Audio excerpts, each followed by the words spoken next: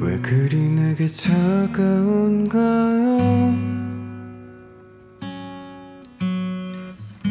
사랑이 그렇게 쉽게 변하는 거였나요? 내가 뭔가 잘못했나요?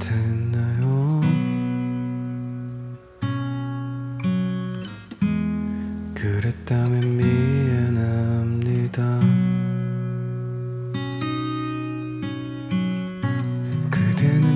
불쌍한가요?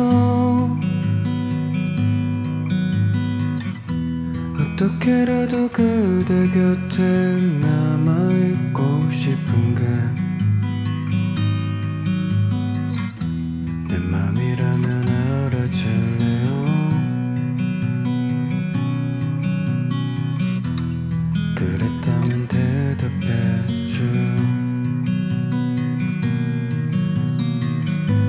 그대가 숨겨놨던 아픈 상처들 다 내게 옮겨주세요.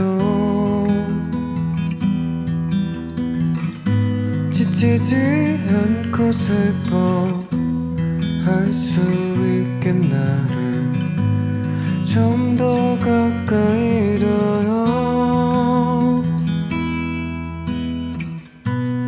사실 난 지금 기다린 만큼 더 기다릴 순 있지만